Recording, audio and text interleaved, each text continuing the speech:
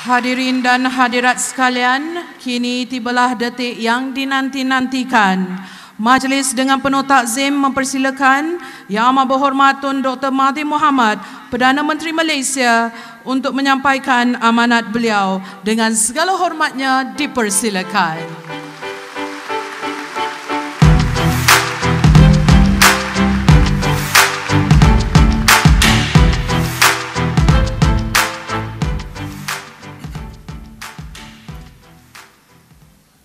Bismillahirrahmanirrahim. Yang amat berhormat Timbalan Perdana Menteri yang berbahagia Tan Sri Ketua Setiausaha Negara yang berhormat Menteri-Menteri Timbalan-Timbalan Menteri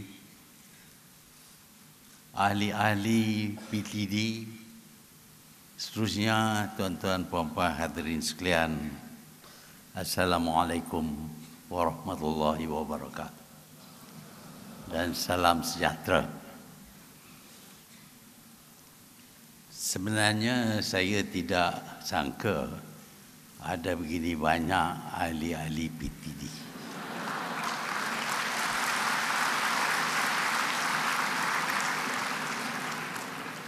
Saya fikir pada mulanya saya akan menghadapi jumlah seperti yang biasa saya hadapi di Intan.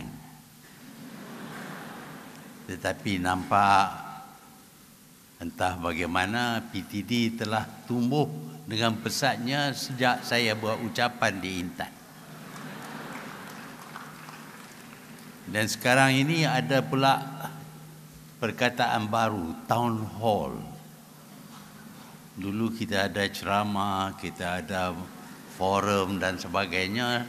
Sekarang kita ada town hall. Dewan Bandar. Saya tak tahu sama ada kita mempunyai town yang town hallnya sebegini besar. Walau bagaimanapun saya ucap terima kasih kerana diberi peluang untuk bercakap sedikit berkenaan dengan satu tajuk The Way Forward The Rise of Authentic Leadership tetapi poin-poin saya telah dicuri oleh video klip tadi.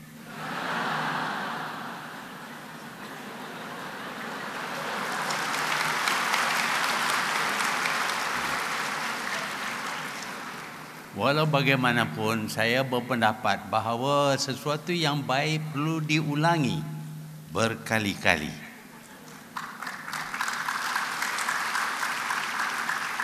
Ini adalah pengalaman saya. Kalau saya nak ingat sesuatu saya perlu ulangi berkali-kali. Sebab itu saya lulus dalam peperiksaan saya baca buku 10 kali sehingga sampai kepada tahap yang mana apabila saya dihadapi dengan soalan dalam peperiksaan saya dapat lihat muka surat dalam buku saya dan gambar-gambarnya.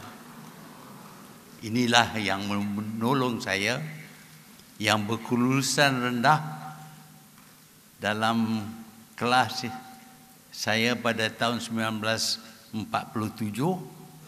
tetapi ada yang kelulusan lebih tinggi gagal tapi saya entah macam mana.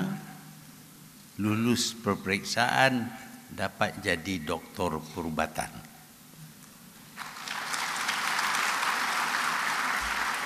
And that is the first time the first point i would like to make. The first point is that apabila kita nak belajar sesuatu ataupun nak amal sesuatu kita perlu buat berkali-kali. Barulah dia lekat di hati tetapi juga di kepala kita. Sebab itu kita boleh sembahyang bagi orang Islam boleh sembahyang dan kita lafazkan dalam bahasa Arab yang kita tak faham tetapi kita boleh doa panjang pun dapat kita ingat kerana kita ulangi berkali-kali. So this talk about leadership for example must be repeated over and over again until you hear it singing in your brain all the time. So today I'm going to repeat what you have seen on the video screen just now. Tuan-tuan dan puan manusia tidak boleh hidup keseorangan, alone. Manusia perlu kepada rakan, hidup berkelompok yang semakin lama semakin besar. Bermula dengan tribes yang mengadakan satu kumpulan yang kecil sahaja, manusia sekarang ini tinggal dalam satu dunia yang mempunyai lebih daripada 7 bilion manusia.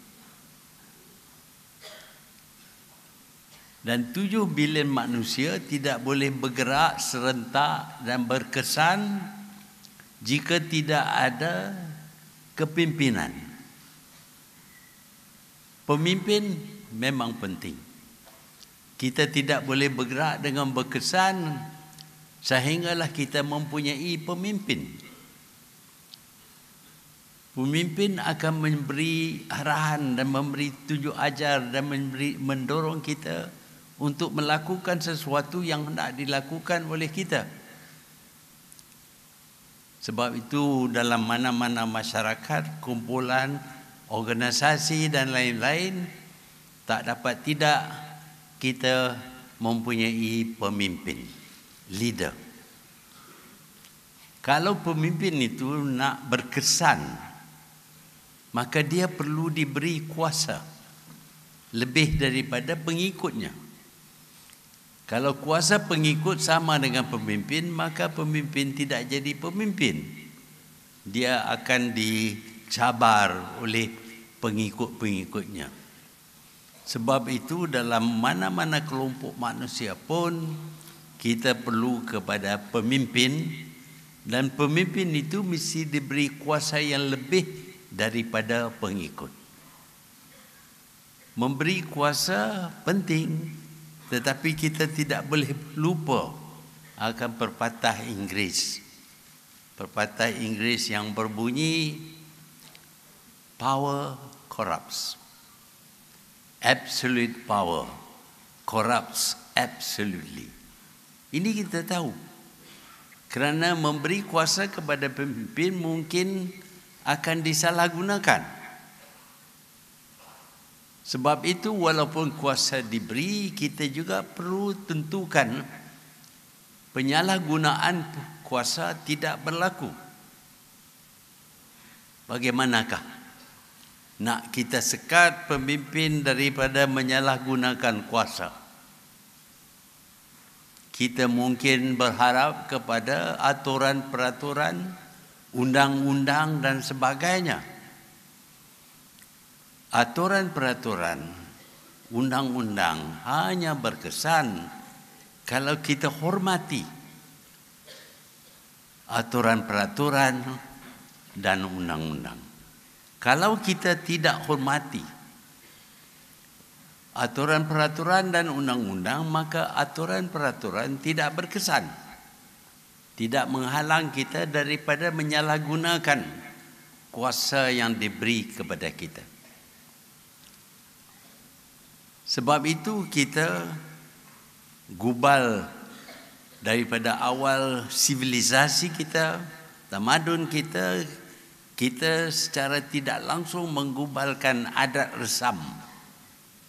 Tiap masyarakat, tiap bangsa, tiap kumpulan mempunyai adat resamnya. Dan orang Melayu sudah tentu tahu tentang adat resam. Adat resam ialah pengakuan bahawa dalam satu-satu kumpulan itu ada yang boleh dilakukan, ada yang tidak boleh dilakukan kerana bertentangan dengan adat resam. Bagi masyarakat yang primitif, adat resam mungkin mencukupi kerana masalah dalam masyarakat yang primitif dan kecil tidak begitu kompleks mudah difaham dengan itu mereka mudah mematuhi adat resam bangsa ataupun kumpulan mereka tidak banyak masalah berlaku dan jika masalah berlaku, adat resam juga menentukan kepimpinan kumpulan itu dapat mengenakan hukuman ke atas mereka yang tidak mematuhi adat resam. That can be possible in a small tribe where the leader is given the power to ensure that the adat resam is well respected by the members of the community. Ini bagi kumpulan yang kecil dan primitif tetapi lama kelamaan manusia menjadi lebih bertamadun tinggi, lebih cekap, lebih besar dan memerlukan lebih aturan peraturan. Dengan itu kita dengar berkenaan dengan undang-undang yang diperkenalkan yang pada bangsa barat diperkenalkan oleh Hammurabi daripada Syria sekarang ini.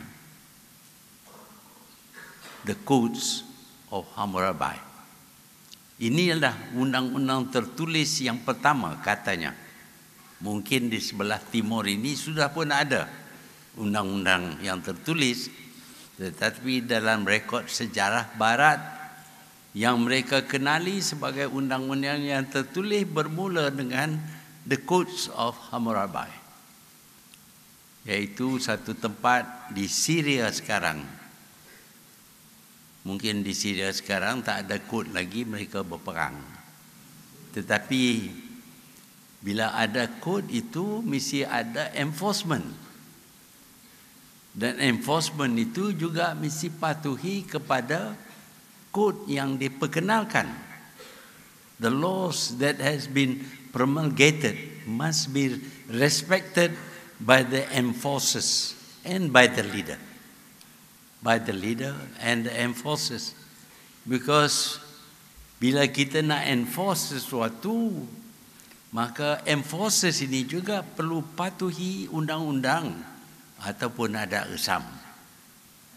Sekarang undang-undang kita menjadi lebih kompleks kerana ada banyak sistem. Sistem yang akhirnya mempunyai memerlukan pemimpin.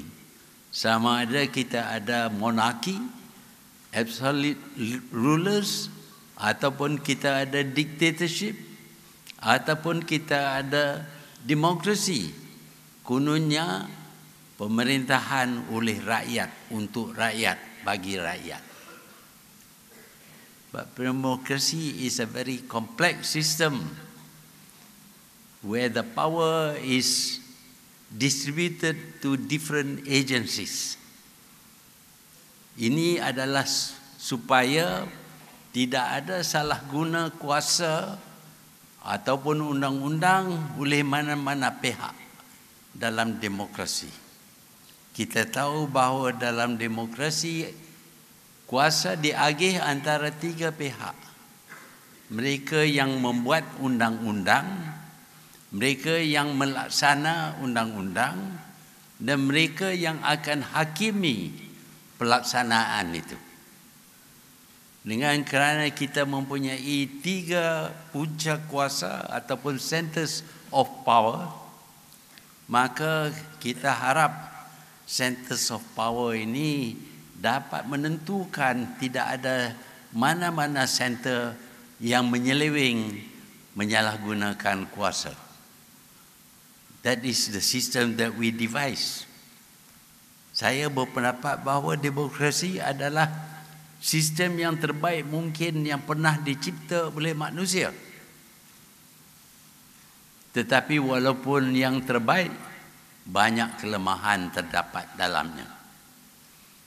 Kita boleh lihat yang mana di antara tiga punca kuasa ataupun centers of power ini ada yang dapat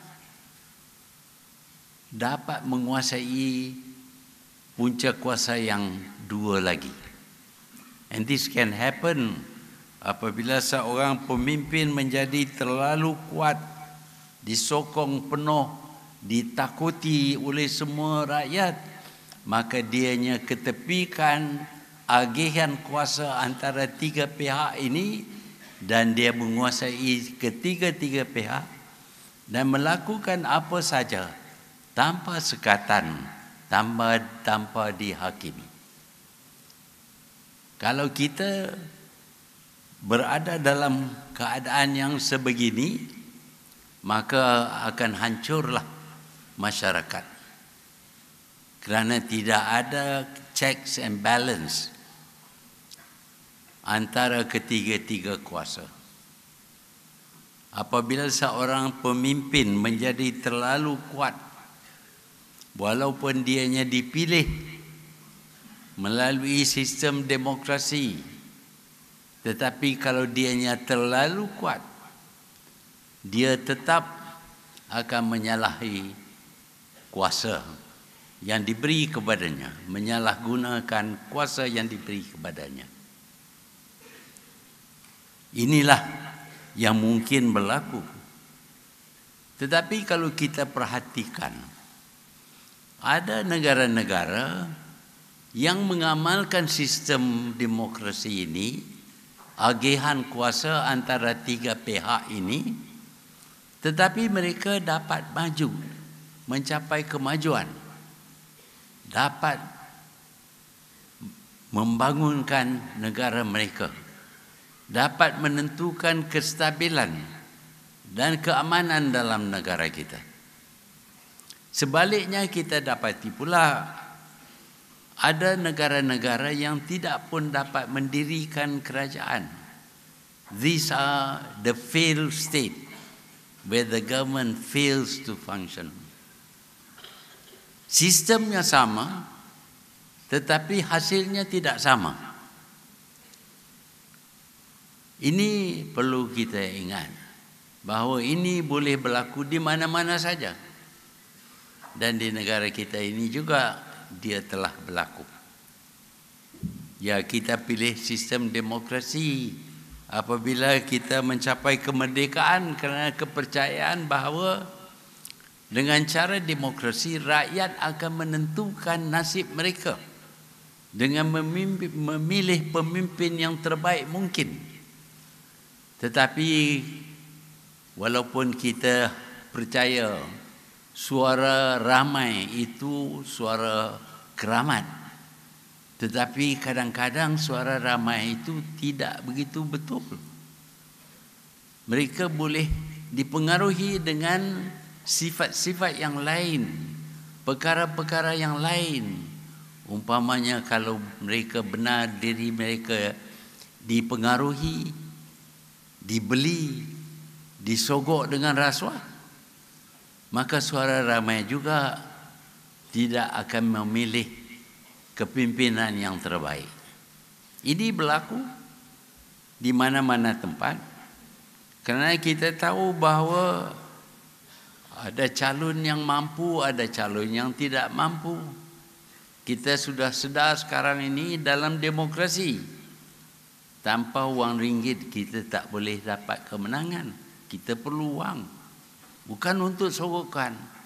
Tetapi hanya untuk menjalankan kerja untuk memilih pemimpin. Kita perlu wang.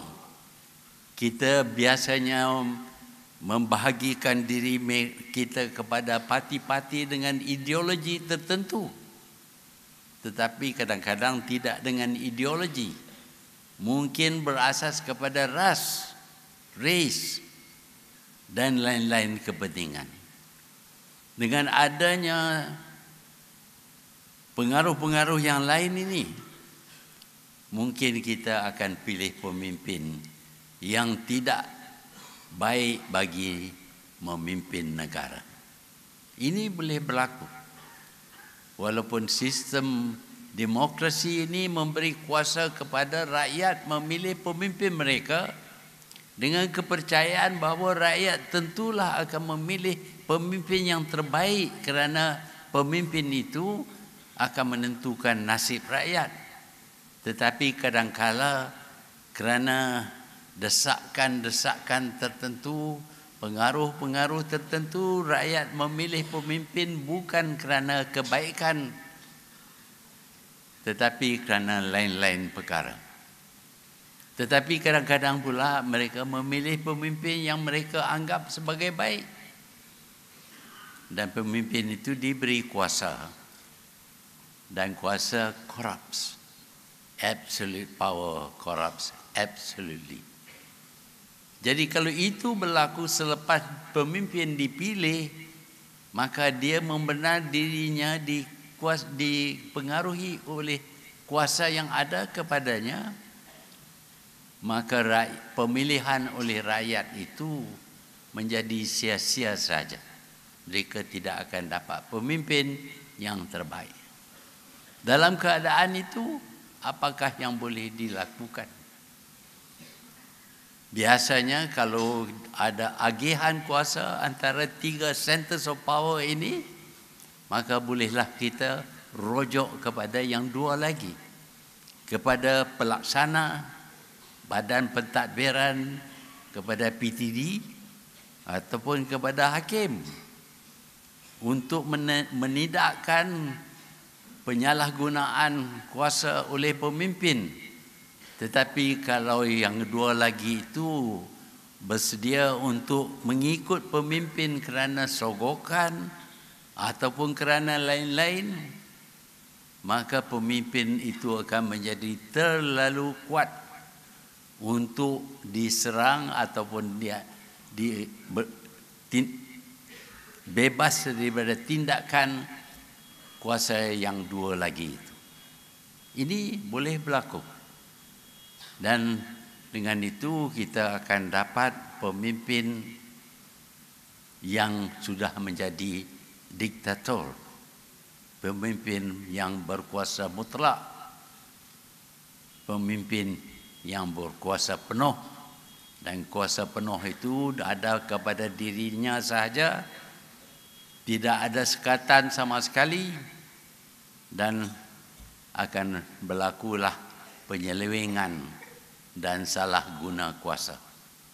Saya telah sebutkan tadi bahawa entah bagaimana ada negara yang mengamalkan sistem itu yang berjaya tetapi ada pula negara yang mengamalkan sistem itu yang gagal dan ada negara yang tidak mempunyai sistem sama sekali sehingga mereka tidak mempunyai pemerintah yang menjalankan tugas sebagai pemerintah.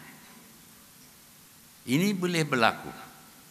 Akhirnya kalau kita soal kenapa ada yang berjaya, ada yang gagal, maka kita akan dapati jaya atau tidaknya sesuatu masyarakat, sesuatu negara bukan disebabkan oleh bangsa, oleh kulit warna kulit ataupun lain-lain. Perbezaan antara kita bahasa kita, budaya kita dan selain dan lain-lain lagi.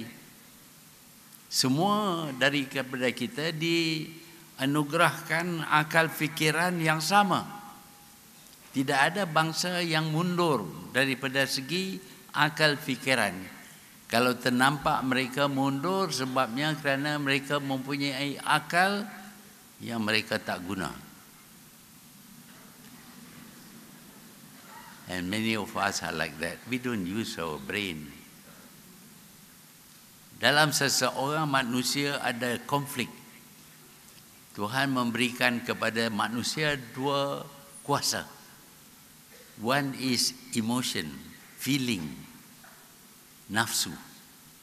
The other one is akal fikiran. antara nafsu dengan akal fikiran ini selalu ber, ber, terdapat konflik. Ada yang nafsu ingin buat, tetapi akal fikiran berkata ini tidak boleh dilakukan. Kalau dilakukan akan bawa mudarat kepada kita. So this conflict is always in every one of us. Every time we do something, there is this confrontation between your feeling and your uh, ability to think. Sama ada kita membenar diri kita dipengaruhi oleh nafsu atau oleh akal fikiran menentukan jaya ataupun tidaknya seseorang manusia, sesuatu puak, sesuatu kaum, sesuatu bangsa, sesuatu negara. The conflict is always there. The desire to do something because you, it is going to give quick returns or to accept that the mind regards pandering to the will or to the emotion will bring disaster to you. The conflict is always within us. We have to make a choice. There are strong personalities and weak personalities. Yang lemah itu selalunya akan mengikut nafsu. Yang kuat itu, the strong person resists the, the emotion, the feeling because of the higher ability to counter it with rational thinking. Ini yang penting. Kita memikir apakah melakukan ini baik ataupun buruk. Akal pikiran dapat menilai.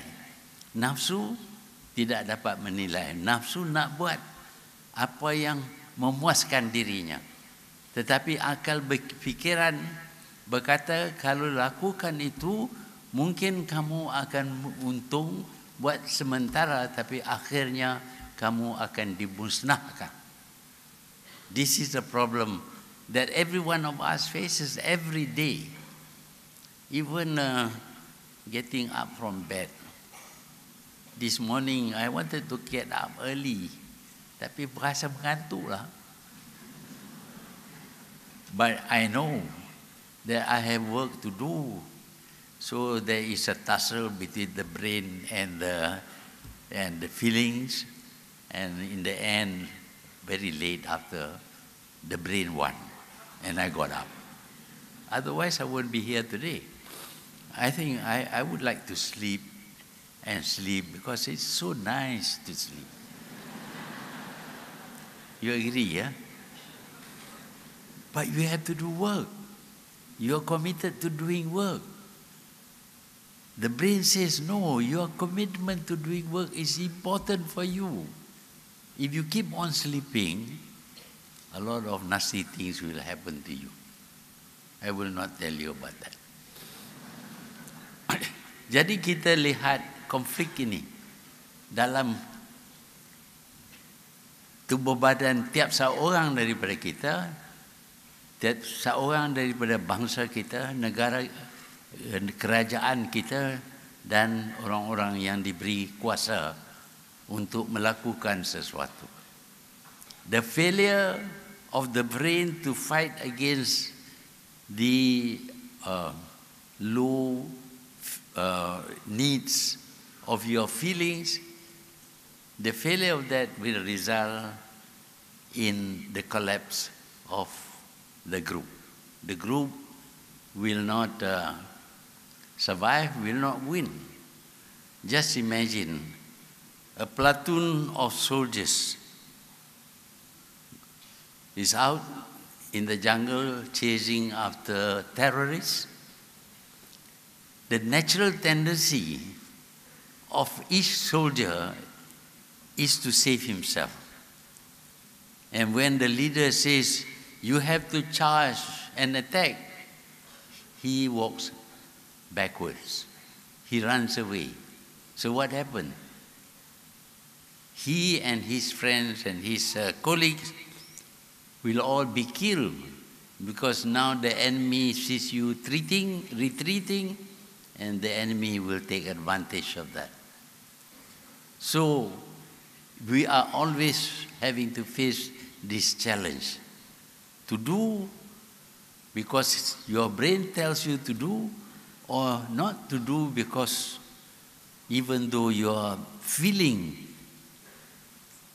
urges you to do something that is immediately beneficial but in the long run is not so beneficial. In the war in the first world war there were soldiers who ran away from the front when asked to advance. And what happens to that is that to them is that the orders are if any soldier runs away, he will be shot there and then by his senior officer.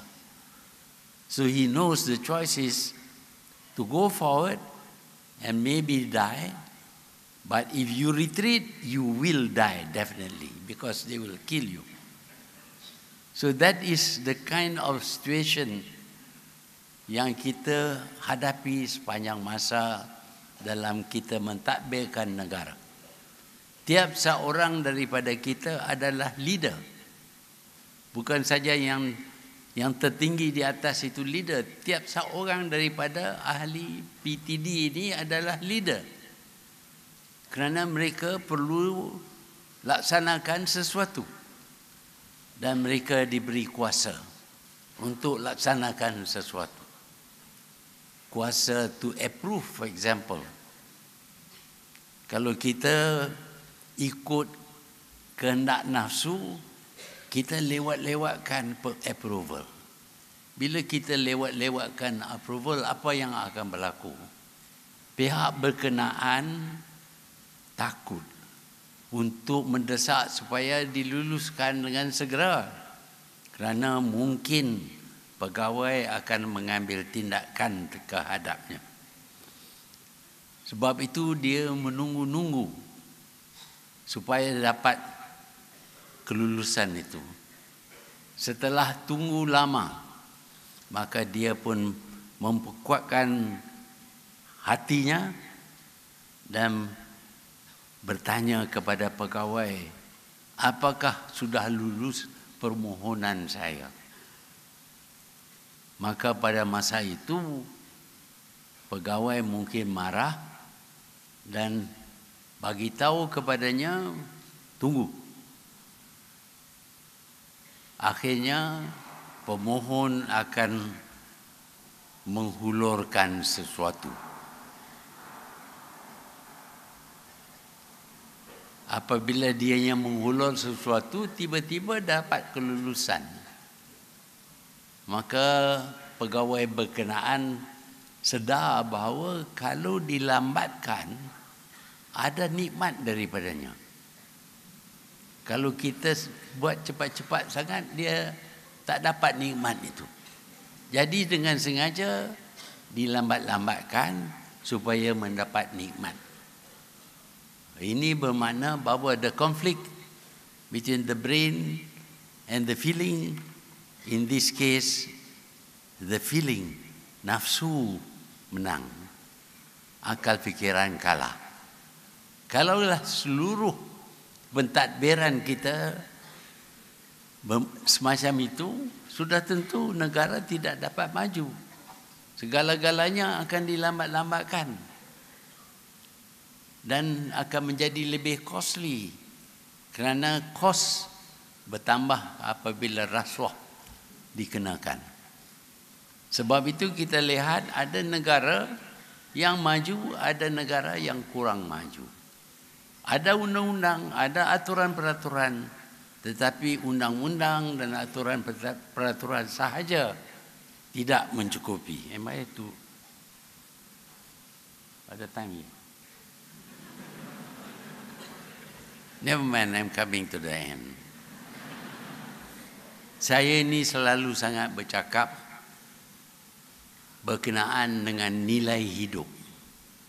Saya bercakap berkenaan dengan nilai hidup kerana nilai hidup kita lah yang menentukan karakter kita yang menentukan kita gagal ataupun kita berjaya. Apa dia nilai hidup? Tadi kita telah uh, tunjuk tadi beberapa perkataan seperti bersih, cekap, beramanah. Why? Why bersih? Clean means no rasuah. Amat cekap means skillful, boleh buat kerja. Amanah means trustworthiness. Tiga nilai hidup ini amat penting sekali bagi menjayakan diri sendiri, bagi menjayakan kelompok kita, bagi menjayakan bangsa negara kita. You have to have that. Kenapa? Kerana nilai-nilai ini kalau dipegang dan diamal dapat menidakkan tekanan nafsu. Tekanan nafsu menyuruh kita kalau boleh tidurlah lama sikit. Lambatlah sikit sampai ke tempat kerja. Bila sampai pun janganlah buat kerja cepat sangat. Rest dululah. Kita semua needs rest. You convince yourself that you need that. Dan dengan itu kerja kita dilambat-lambatkan, kos meningkat dan hasilnya ialah segala usaha untuk membangunkan negara kita ini akan dilambatkan bahkan kadang-kadang dihentikan. So we cannot succeed if we are not clean. Cekap means, like I said before, kita buat sesuatu itu sehingga kita boleh pejam mata dan lakukan perbuatan itu. Banyak benda yang kita boleh pejam mata tetapi jaya membuat sesuatu itu. Kalau tak percaya, pejam mata, tengok kita boleh suap masuk dalam mulut ataupun tidak. Dia tak masuk dalam, dalam hidung, dia masuk dalam mulut. Tak tengok pun tak apa. When you do something repeatedly, as I said just now, kita akan acquire skill. So in everything that you do, do often, do repeatedly, so that it comes almost automatically to you. You don't have to open your eyes, you don't even have to think. You know just what you have to do. And you do it because you are honest to yourself. Number two, cekap, I've explained number one, number two, uh, bersih, cekap, dan beramanah. Amanah is very important. Never take what doesn't belong to you. Kalau sesuatu kerja diberi kepada kita, kita lakukannya dengan secepat mungkin mengikut aturan peraturan undang-undang dan juga adat resam mungkin bangsa yang mempunyai sifat-sifat ini tetap akan berjaya. Sebab itulah diperkenalkan slogan ini, bersih, cekap dan amanah. Bukan untuk kita pamer saja, tetapi untuk kita amalkan. Ya pada dulu saya tak ada masalah. Jadi Perdana Menteri saya boleh percaya kepada semua orang sekarang ini kerana hasutan dari pihak tertentu kita mempunyai masalah kurang kepercayaan so now we have to rebuild rebuild this bersih quality kita nak ada banyak undang-undang. Tan Sri Abu Kasim pun perkenal macam-macam undang-undang. Dan ada ugutan juga kalau tak ikut akan kena dera dan macam-macam lagi. Tetapi kalau dia jadi sebahagian daripada sifat yang ada kepada kita tak payah undang-undang. Kita tidak akan buat sesuatu yang salah. Kita tidak akan menerima rasuah kerana itu bagi kita tidak baik kita tahu tidak baik akhirnya akan memudaratkan kita that is why your value system is important ada masyarakat yang tak bersih. Kita tahu Dulu ada sebuah jiran kita. Semuanya bisa diatur. Sekarang tak begitu. Mereka lebih baik daripada kita. Kerana mereka membuat keputusan bahawa mereka tidak akan lakukan sesuatu yang tidak bersih. Yang tidak baik. Kita tidak mencuri bukan kerana ada undang-undang ataupun ada mata-mata depan. Kita tak mencuri walaupun tidak ada siapa yang melihat kita kerana kita tahu itu tidak baik. Jangan buat. Yalah bagi orang kita sepatutnya kita tahu Tuhan melihat apa yang kita lakukan walaupun tidak ada satu orang pun yang tengok, yang nampak. Kerana kita pegang kepada nilai yang mulia ini, tidak kita tidak akan melakukan sesuatu yang salah. We discipline ourselves. Kita kawalkan diri kita dan tidak membuat sesuatu yang salah. Dengan itu pentadbiran menjadi begitu licin sekali. Segala yang nak dilakukan akan dilakukan mengikut ketertiban, mengikut, mengikut aturan peraturan. Bangsa yang berpegang kuat kepada kebersihan tidak terlibat dengan rasuah bangsa itu akan berjaya. Tetapi saya akui tidak ada bangsa yang absolutely free from corruption. There will be corruption. Tetapi tidaklah sehingga kerja-kerja tidak dapat dilakukan. Only a minority perhaps will be corrupt. But when corruption becomes a part of the culture of the people, saya fikir payah nak bagi ubat. Macam mana nak bagi ubat? Kalau kita lapor kepada pihak yang berkuasa, kita dapati pihak yang berkuasa itu pun juga terlibat dengan rasuah. Dan dia pun tak boleh nak lapor kepada siapa lain. When the whole group of people of a country becomes corrupt, there is no remedy. Saya bahagikan corruption kepada dua peringkat. Satu above the table. Satu under the table. Dia memula dengan menyembunyi perbuatan rasuah. Kerana dianya tahu itu salah. Kalau dikesan maka dia akan menghadapi hukuman.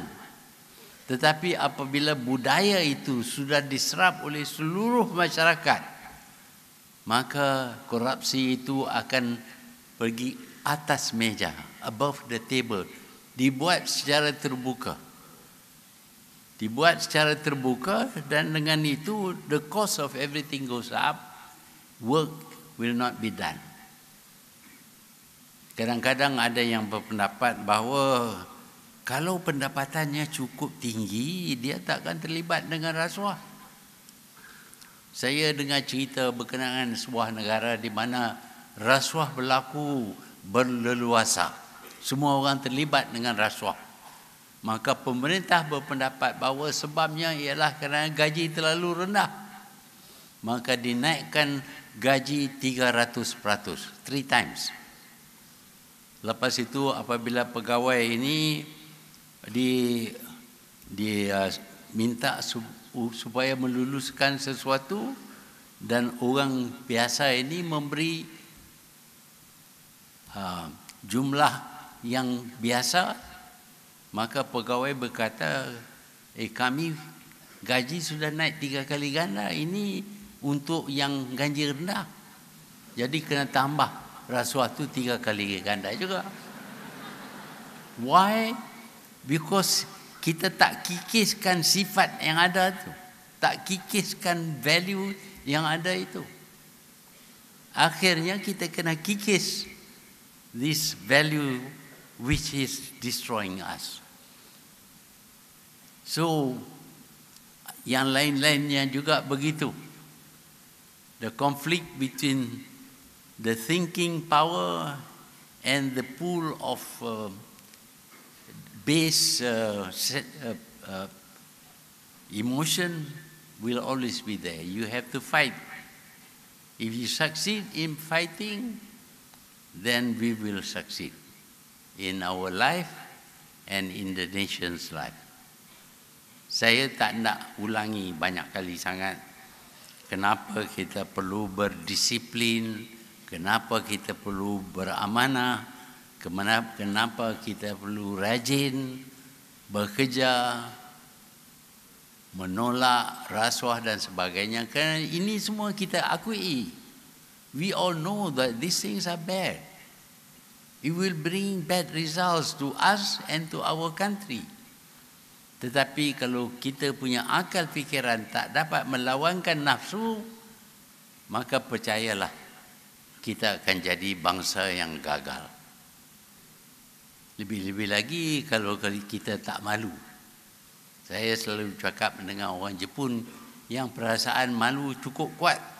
Kalau dia malu, dia bunuh diri. Harakiri.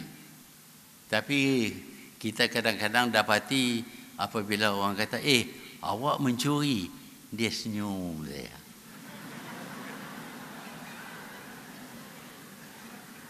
so between the Japanese and the smiling individual there is a great difference. Kalau kita boleh jadi macam orang Jepun tak payahlah harakiri saya I don't advocate harakiri but at least do feel ashamed. Feel ashamed if you don't deliver what you promise to deliver. The Japanese want to produce something of quality because to produce something of low quality gives shame to them, makes them feel ashamed of themselves. Kalau kita tengok barang-barang buluh pun yang dibuat oleh orang Jepun, betapa halusnya ukiran ataupun uh, uh, ciptaan olehnya. Sebaliknya bagi orang yang tidak begitu berasa malu ah, tak apalah dah jam pukul 4 tak siap pun tak apalah kita balik ya. So I had to introduce uh, time punya tu because uh, I see people going home before time for going home. There's one more thing that I was I want to see because this is about authentic leadership. Kalau kita nak jadi pemimpin dan semua kita adalah pemimpin, kita mestilah pegang kepada nilai yang mulia yang kita pertunjukkan kepada mereka yang ada di belakang kita ataupun di bawah kita. The leader must show the best example after all apalah sangat dapat duit banyak boleh beli kapal equanimity kalau kita nak makan pun banyak mana boleh kita makan. Ada orang yang dapat sampai 4 bilion ringgit. Sampai dia mati pun duit tu tak habis. Kalau dulu, dulu masa zaman Firaun dulu kita tanam duit tu sama-sama dengan dia. Supaya 2000 tahun lepas itu ada orang korek dapat duit. Orang itulah untung. Dia pun tak untung. Sebab itu sementara kita perlu kejar ke kekayaan dia hendaklah dibuat secara halal. Kalaupun kita kaya macam Bill Gates sedikit sebanyak mestilah hulur duit itu untuk kerja kebajikan. Tapi kalau kita bahasa begitu tamak sekali dan nak juga nak itu nak ini saya lihat kapal equanimity ini 300 kaki panjang dalam ada bilik tidur complete dengan bathroom each room, each uh, room has got a bathroom and an office wow mahal sungguh. Dibeli dengan duit yang dicuri. Tapi tak berasa malu sikit pun. Kalau kita tak ada perasaan malu seperti ini, percayalah kita akan lakukan perbuatan yang tidak baik dan ini akan membawa mudarat kepada kita dan kepada bangsa kita dan negara kita. Sekian, terima kasih. Terima kasih Yang Amat Berhormat Tun Dr. Mahathir Mohamad atas amanat yang disampaikan sebentar tadi.